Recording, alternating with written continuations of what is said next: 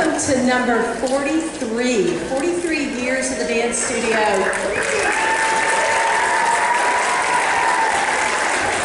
When we first opened up, we didn't have a mall, and there was only a two-lane road going through Boone. That's how long we've been here. That's a long time. So let's go through a little, a little of our news that we need to do. At the end of the show, we will have the children here for curtain call.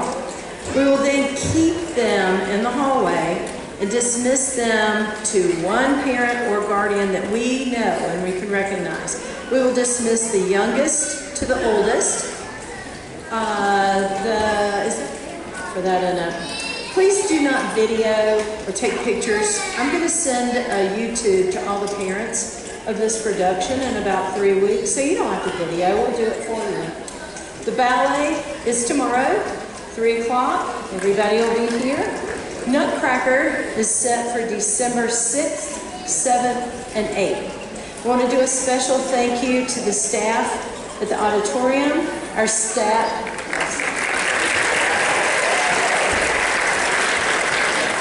And our staff and assistant teachers at the dance studio. We couldn't do it without them.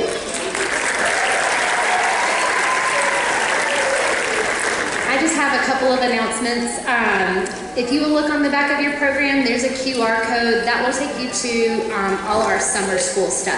So if you're interested in summer camps, uh, Lindsay leads those. They're a lot of fun. There's even some that are really exciting for siblings to take, and they do not have to be a currently enrolled uh, student in order to take play, take part in all the summer camps. So invite a friend, uh, a sibling, anyone who would like to come um, can register. The other thing is um, an announcement. Next week, uh, around this same time, at the dance studio, we're going to have a Mother's Day uh, celebration, a mom and me dance class. So um, that information will come out on Facebook and email later this week. Make sure you sign up if you are interested. Thank you. One more question. What do you do if your shoe falls off? I love you.